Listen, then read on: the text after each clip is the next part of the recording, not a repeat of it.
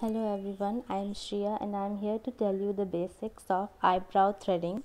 And first take a thread, it should be thick and the length should be half a length of your hand. And cut the thread, tie the two ends together and make a loop with it. And hold one end of the loop with one hand and with the other hand make three turns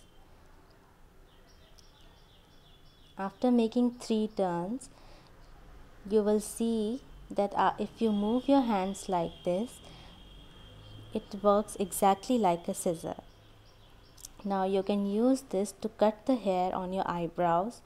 Uh, before doing it on your eyebrows practice it anywhere else like you can practice it just in the air or you can practice it on your feet on your hand or anywhere else to practice cutting hair with this um, so before you do it on your eyebrows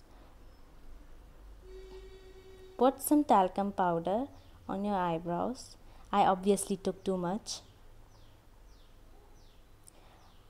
Talcum powder will reduce the pain when you do it on your eyebrows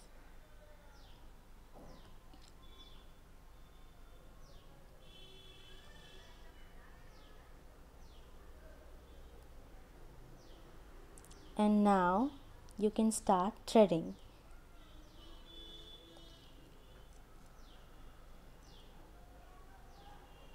After you are done with your threading you can put some soothing aloe vera gel or any other ointment to, uh, to reduce the pain.